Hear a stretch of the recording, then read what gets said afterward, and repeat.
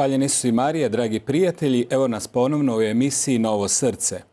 Lijepo vas pozdravljam i želim da i ova emisija unese u vaša srca radost one istine koju nam donosi gospodin u svojoj riječi. Na osobit način evo pozdravljam i sve one koji su možda i zbog bolesti, i zbog različitih drugih poteškoća, evo u nemogućnosti možda biti negdje na slavljima Euharistije, a evo možda i kroz ove emisije, ova svjedočanstva koja slušamo, mogu potaknuti upravo na onaj ponovni jedan susret i otkrivanje radosne vijesti kroz riječ, kroz svjedočanstvo onih koji su evo gosti u ovoj emisiji. Zato evo na poseban način danas pozdravljam mog brata Ivana Majića koji je postulant u e, Samoboru, kandidat je za e, Franjevca i evo drago mi je da je u, e, s nama u ovoj emisiji. Dobro nam došao Ivane. Hvala puno, hvaljeni si Marija. Hvaljeni si Marija. Evo lijepo pozdravljamo isto tako i našu Mariju Irenić koja je isto tako s nama i koja će evo i svojom pjesmom uljepšati ovu emisiju i od srca ti zahvaljujem Marija evo što si i danas ovdje s nama. Pa evo, za početak, Ivane, možeš nam se kratko predstaviti, reci nam evo nešto o sebi. Pa evo, ja sam Ivan Majić, kao što ste rekli, kao što si rekao, rekao si braća smo, tako da. Evo, kandidat sam zapravo za Franjevački red, nalazi se u postulaturi u Samoboru. U prvoj godini formacije na putu sam da postanem svećenik Franjevac imam 34 godine, znači dosta, je godina prošlo. I tako, rođen sam u Splitu i na neki način završio sam prvo gimnaziju, onda sam silno želio studirati, pa sam onda došao u Zagreb, onda sam silno želio upisati filozofski fakultet, studij hrvatskog jezika i književnosti i slavistike. To sam završio, diplomirao 2005 to je već prošlo 11 godina. Da, ovo je zapravo 11 godina.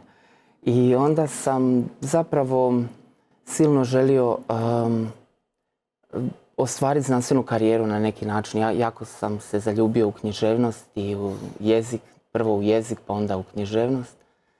I onda sam zapravo dobio jednu priliku da se zaposlim na Filozofskom fakultetu, zahvaljujući mom profesoru, koji je tako silno me poticao i, i 2005. godine ja sam diplomirao, došao na fakultet, postao asistent.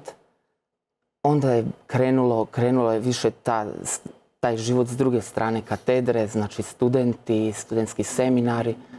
Međutim, vrlo brzo sam nekako osjetio dakle, neku želju da, da trebam nešto više napraviti. Svakako ono, to je ključna stvar.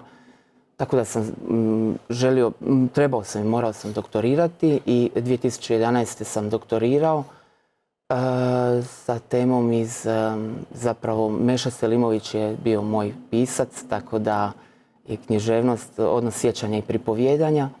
2011. sam uspio to konačno završiti i onda sam, tad sam, jedina motivacija mi je tad bila ja moram ići van, ja, ja stvarno ne mogu ovaj, živjeti u ovakvoj državi kako je uređena i nije mi se baš sviđala atmosfera same države i tako.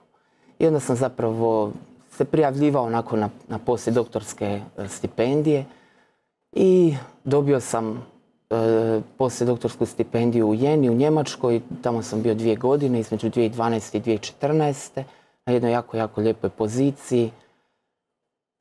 I tako, i onda znači, zapravo... Puno toga, znači ovaj, zapravo i kroz uh, svoj studij, školovanje. Da. A vjerujem evo da si kroz to vrijeme na neki način evo i sam, znači rekao se evo tražio si nešto više i tako i mislio si naravno da je to evo i kroz studij i kroz tvoju uh, formaciju.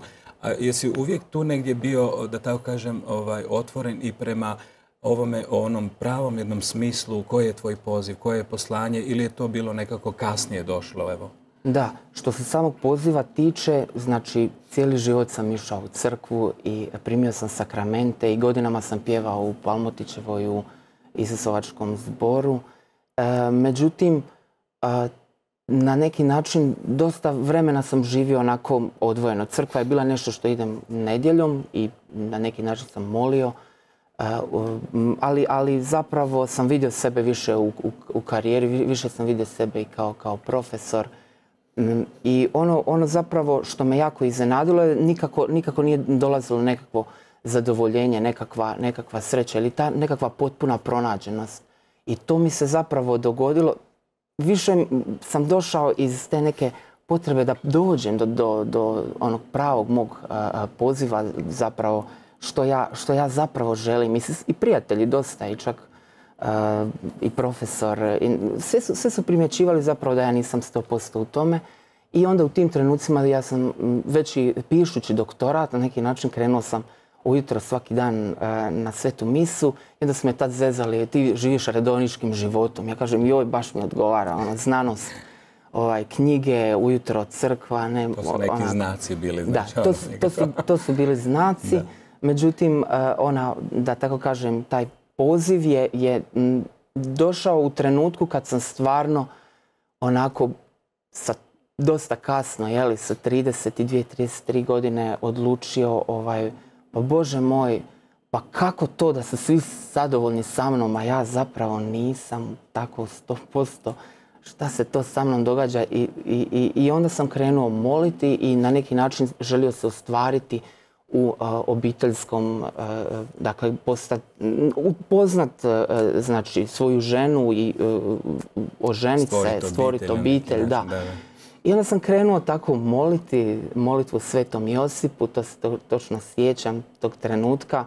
Baš sam onako iskren bio i sto posto sam rekao, evo Bože, ja molim za svoju ženu koja je sigurno negdje na ovom svijetu, ja ću je upoznat ako je ako je to tvoja volja, evo ja stvarno dajem sve od sebe da zapravo da napravim, evo, ne ono što ja sad želim jer, jer sam sve uspio, sve si mi zapravo ti dao, jer Bog me je tako divno darovao tim ogromnim milostima, to je stvarno čudo. I onda sam nekako u toj molitvi želio doći do, do, do tog ispunjenja, da tako kažem, intimnog ispunjenja, intimnog ispunjenja koje je zapravo u dubini srca i nešto što svaki čovjek čezne i teži. I u tom trenutku onda e, išla je molitva, 30, to je 30-dnevna molitva Svetom Josipu. I tako ja sam molio i molio i prošlo je nekih 20 dana i onda ovaj, kao kompjuter kad se deinstalira neki program, ja negdje tamo oko 22. 23. dan ja molim, ali ne mogu više moliti za svoju ženu. I gledam šta se ovo sad događa, ovo je nešto stvarno ono, nevjerojatno, a osjećam veliki mir.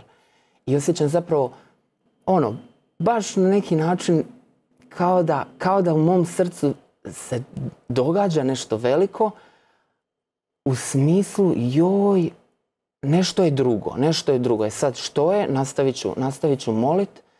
I onda sam, tad sebi nisam to priznavao, ali sam onda išao na YouTube i onda sam gledao one, one videa o redovnicima, o svećenicima i onda sam rekao joj, blago njima, blago njima, kako je njima lijepo i tako. Tako je to krenulo da bi zapravo na samom kraju u jednom povratku iz Njemačke došao na Kaptol prije Božića 23.12. Ušao u crkvu, pater Vatroslav Frkin je držao misu i ja sam, mene je to bilo toliko predivno.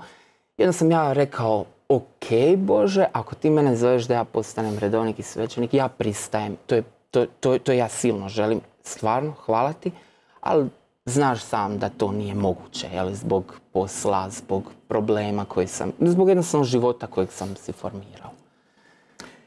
Lijepo, evo, a ovo što si rekao, znači taj povratak iz Njemačke, čini mi se da si u Njemačkoj zapravo i ono doživio tu jednu stvarnost crkve na jedan drugačiji način. Pa evo možda podijeliti sa našim gledateljima jer mi to nekako bilo znakovito, a i duboko u sebi kao poruke. Točno, točno. Znači, ja sam nekako crkvu doživljavao i odlazak na misu kako je to bilo razdoblje 90-ih, kad sam odrastao, pa primao sakramente i tako dalje. Onda sam došao na filozofski fakultet gdje je bila potpuno drugačija klima u tom odnosa prema crkvi. Onda sam zapravo, crkva je meni bila silno nabijena, da tako kažem, s nekim političkim isto tako konotacijama, s konotacijama stvaranja države i tako dalje. Crkva je uvijek bila na neki način nešto što je bilo naše, jel? nešto lokalno, međutim, mene u, u, vremenu studija to nije pretjerano zanimalo jer mislio sam to je prelokalno. To, želim zapravo i studirati i želim doktorirati, želim, želim i putovati, silno sam želio. I onda u, Njemačkoj sam bio u protestantskoj sredini, uh, u jednoj jako maloj katoličkoj župi, 5000 vjernika i tamo sam zapravo krenuo iz dana u dan osjetio veliku potrebu da da se posložim život, jel, na neki način svi su jako oduševljeni sa mnom kako sam ja uspio, a mene, mene nikako, nikako da dođem do tog kraja gdje me na neki način to ispunjenje očekuje. I onda sam ja krenuo na njemački svaki dan, e, e, e, molimo mi, nas 14-15 ljudi, molimo na njemačkom, a to su, to su bili ljudi iz cijelog svijeta. To je bila, ne znam, svi ljudi koji su se u tom trenutku našli u Njemačkoj. Koji su radili vjerojatno. Tako je, radili su i, na primjer, Florence iz Kameruna ili prijatelj iz Južne Amerike, pa jedan stari poljski bračni par.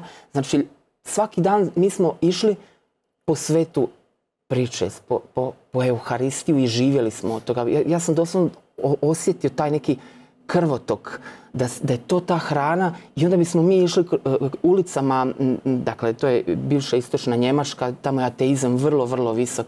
Znači idem ulicama i osjećam tu snagu i zapravo vidim, vidim što, je, što, je katolička, e, što je katolička crkva, što je snaga zapravo i sakramenta, što je snaga Kristove prisutnosti. Naravno, onda nakon toga sam išao, kako je to bilo vrijeme u kojem sam E, imao jeli, dobru plaću, onda sam i kupio auto pa sam rekao obavezno moram ići u Rim na ovu kanonizaciju Ivana Pavla II. Jer, jer sam bio u Rimu kad je na samom sprovodu Ivana Pavla II. Tad mi se isto dogodio jedan, to je jedan isto divan trenutak i onda u Rimu isto e, ta, ta, taj osjećaj obitelji, katoličke obitelji, svi molimo na različitim jezicima, svi smo okupljeni zapravo oko oko jedne svete liturgije, to, je, to, to mi potpuno proželo i, i, i promijenilo mi život, jel? Promijenilo mi život, ali Njemačka je zapravo bila silno potrebna jer ne znam, i bili ja imao ovaj, hrabrosti ili ne znam, imam osjećaj, bio sam dovoljno izoliran da si napravim dobru duhovnu obnovu, jeli, ovaj... Uh, Može se reći da si tu negdje doživio to novo srce, jel, na neki način baš ta jedna novost mhm. e, u otkrivanju, evo, konkretno i zajednice i crkve, kao nešto što je doista veliko, što je u sebi e, lijepo i što je što nosi zapravo tu dubinu, jednu e, Božje blizine i poruke, znači da je e, evanđelje doista za sve one koji otvaraju svoje srce Bogu, jel? I ovo što se rekao, ta različitost, znači različiti ljudi iz različitih naroda, mhm, mhm. a opet znači na tom zajedničkom slavlju i tako. Evo i dok si malo govorio o tom putu, posebno evo to tvoje nutarnje traženje, to ispunjenje. Evo, Marija nam je pripremila jednu pjesmu, to je pjesma Brate moj. To je isto tako jedna pjesma koja je nastala zapravo u tom kontekstu jednog traženja smisla života, pa evo možemo je poslušati.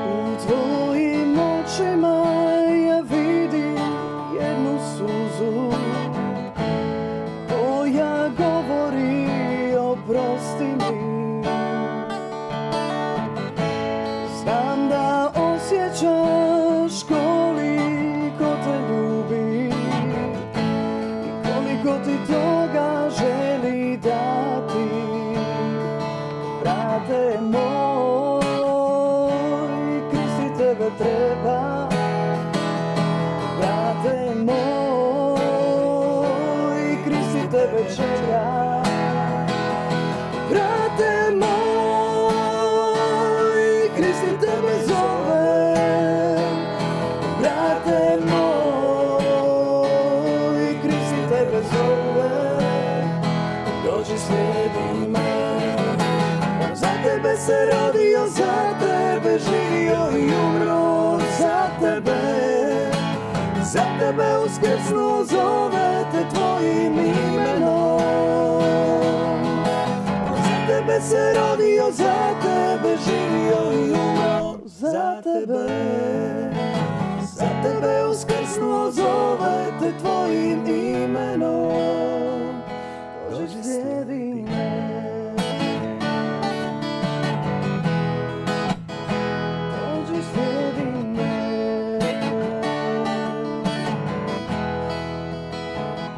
Dođi slijedi me Hvala lijepa Marija. Evo, dođi slijedi me. Došli smo do, do te točke. Znači, ovo što si rekao, znači e, na kaptulu neka doživljavaš možda i taj poticaj možda baš za ovaj Franjevački poziv. Tu se negdje rađa evo i taj jedan novi početak, možemo tako reći, za tebe. Jel? Pa je, je.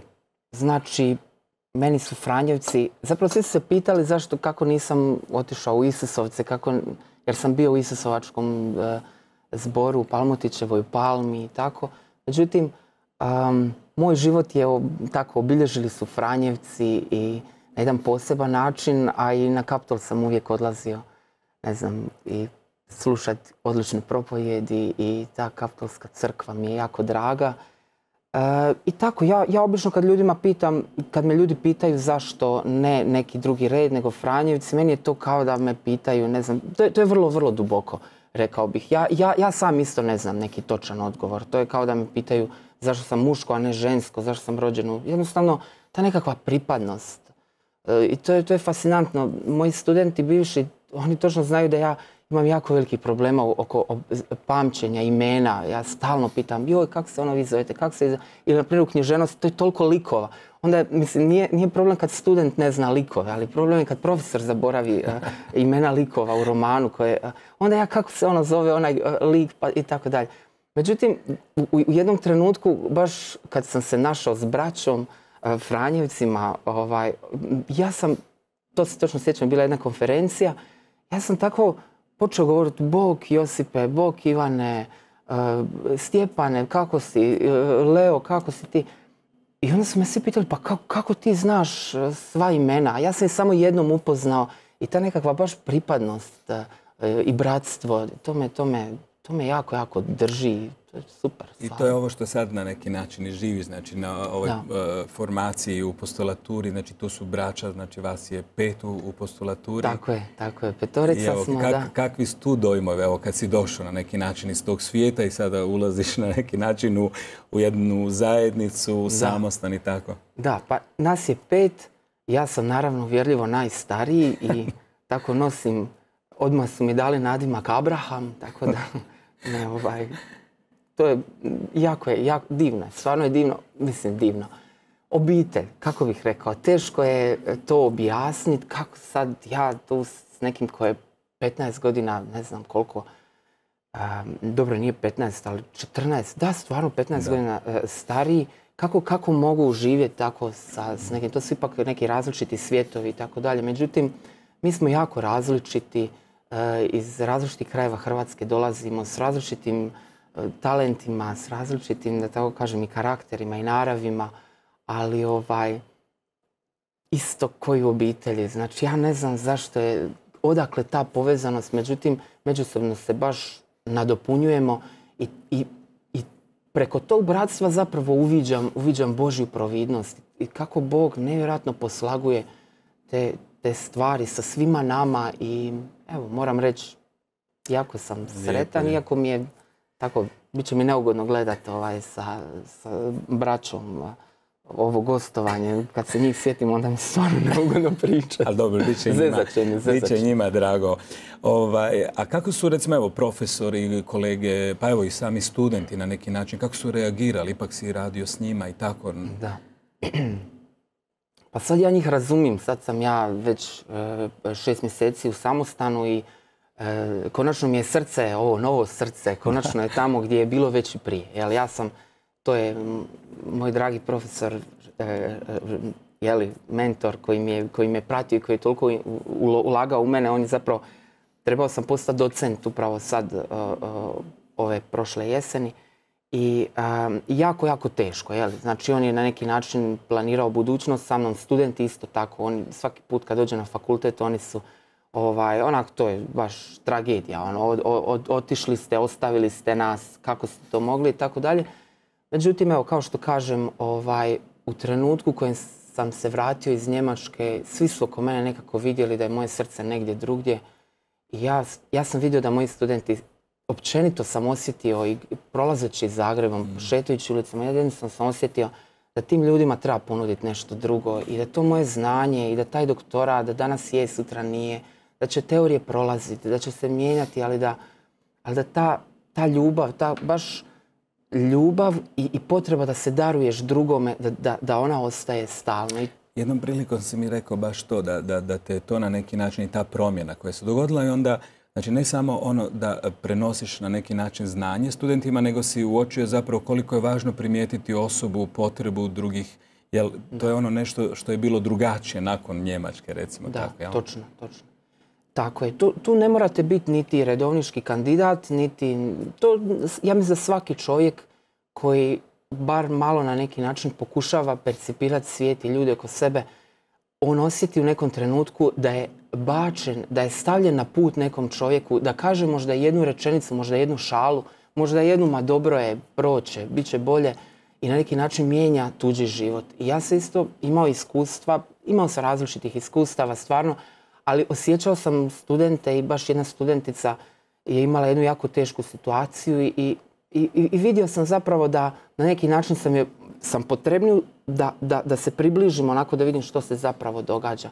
Ali ključna je stvar bila to da, e, da sam dobio poziv. Jel? Znači ja, ja i sad kažem, ja bih sad radio e, na fakultetu, sve je bilo ok, sve kao što bi studenti moji željeli i, i, i moj profesor.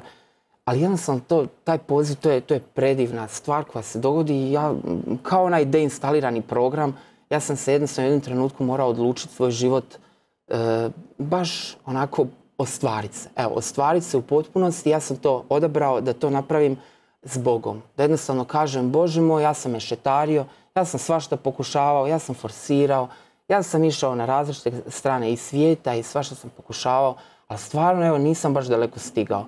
Koliko god, koliko god sam i, i bio uspješan u tom nekom, u toj karijeri jer mi je sve išlo stvarno odlično i jako sam volio to što sam studirao. I onda u tom trenutku se stvorila ta potreba da baš potpunosti srce svoje predam Bogu. Bogu, da. I, da ga, i, I onda u, u tom, u- prvo se znači, to, to je ona divna, divna rečenica koju, koju ti isto jako često ovaj, e, ponavljaš, ali to je Bog, e, e, on, on na neki način sve može napraviti, ali, ali jedno ne može. Ne može nam oduzeti našu slobodnu volju. I, I kad mi sa svojom slobodnom voljom jednostavno dođemo do točke gdje stvarno i u potpunosti odustajemo od svojih projekata i kažemo Bože, ok, sad ti vodi, ja stvarno sad više ne znam. U tom trenutku sam ja dobio poziv. I ja sam presretan. Mislim, ja sam presretan, ja mislim da će i oni biti sretni s vremenom. Ja vjerujem da je to baš taj trenutak jednog potpunog predanja koji se dogodi i onda zapravo čovjek tu otkriva onda ono što je i duboki smisao zapravo i samog tog poziva e, koje svatko od nas ima u sebi. E, Evo, sad smo, mislim, jako je lijepo evo spomenuti, znači ti si praktički otkrio svoj poziv u, u ovoj godini koja je bila posvećena, znači, e, posvećenim osobama. Znači, to je isto tako znakovito, A evo sad se i nalazimo znači, u godini milosrđa i vjerujem da evo i ono iskustvo koje nosiš isto tako, znači posebno sakramenta pomirenja. Pa evo, ako možeš samo ukratko o tome, jer je to jako važno. Vjerujem da mnogi naši isto gledatelji ovaj, u ovom vremenu ove godine, evo i kroz ispovjed i kroz taj sakramenat doživljavaju upravo stvarnost te Božje ljubavi i Božjeg milosrđa. Da, to je divna milost. To, to, je, to je velika milost, baš ta godina posvećenog života, baš je e, kren, jako je puno tih bilo i spotova. Na neki način, em, ja sam točno u tom, tom razdoblju dobivao poziv. Ja sam u tom razdoblju dobivao, meni su u tom razdoblju e, ono, časne sestre i redovnici prestali biti onako, jeli, na neki način, možda i sa strane, možda i dosadni, možda i s nekim monotonim neki stilom. daleki svijet, možda Da, nepoznati. da, da, da. Mm, Kao, ka- kao nešto što je, što, što nije, m, rekao bih, nekakav mainstream, nego, nego je sa strane. I onda, međutim, upravo taj njihov duboki odnos s Bogom, taj, ta, ta, ta intimna veza s Bogom, povezanost k- u molitvi samoj, to je, to je davalo tim ljudima takvu unutarnju, unutarnji mir, pogotovo onima koji baš onako u potpunosti to žive. I, I meni je to jednostavno jako me privuklo i vidio sam da, da ja dobivam nešto i tu sam zaboravio, ono kad sam rekao, da sam rekao Bogu ja neću uspjeti, znači ja, ja se odazivam tvom pozivu ali neću uspjeti, ali onda je Bog preko, preko dragih i dobrih ljudi koji su mi pomogli na različite načine i svojom providnošću ja sam zapravo uspio se, uspio doći do samostana i to, to je meni veliki uspjeh bio. A e, znači u tom razdoblju Njemačke, e, znači ja sam sad više odustajem na neki način od svog projekta i od svog posla, e, ne mogu više to previše onako raditi i, i onda sam jednostavno odlučio ovaj, otići u Lourdes i tu je baš ovaj, evo, odgovor na, na ovo tvoje drugo pitanje, godina milosrđa. I tako to je jedna isto zanimljiva anegdota. Dođem u Lourdes i pokušavam se ispojiti barem na engleskom jer sam malo umoran od njemačkog. I onda, međutim, samo jedan je svećenik bio tamo u Lourdesu na njemačkom, a dobro što sad idem na njemački se ispojiti. I tako pričamo mi sve i on meni onako pita jesam li ja razmišljao ovaj, o svećeničkom pozivu. Ja kažem, ma ne, ono, to, to je bilo puno prije ove Da, molitve da, da, da. Svetom Josipu. Ma ne, ne, ja kažem nisam. Kaže on, pa evo ja to vidim. Molite se, kaže, Muta Gota se izda, kao majka Božja je tu. Pa evo, vi sad molite njoj, pa vidjet ćete. I stvarno, ja sam tako molio i, i tad me preplavila. Znači, u toj, baš sam u ispovjedi na neki način dobio e, e, e, usmjerenje. e, usmjerenje prema, prema redovničkom i svećeničkom putu. Evo. Lijepo, lijepo. Znači, Isus je bio tu i kucao, jel da? Pa evo, e, e, ima jedna pjesma koju je Marija napisala, to je baš pjesma Isus je tu, pa evo možemo je čuti.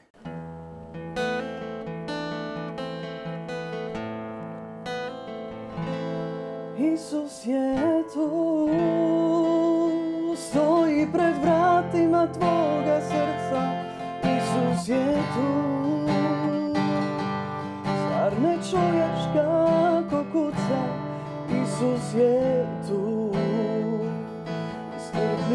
čeka da se predaš i otvoriš njegovoj ljubavi. Isus je tu, stoji pred vratima tvoga srca. Isus je tu, zar ne čuješ kako kuca? Isus je tu,